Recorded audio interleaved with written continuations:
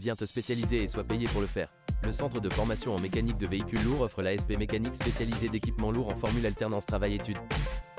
Tu es payé pour étudier, jusqu'à 25 dollars de l'heure. Inscris-toi pour la cohorte du 9 janvier 2024.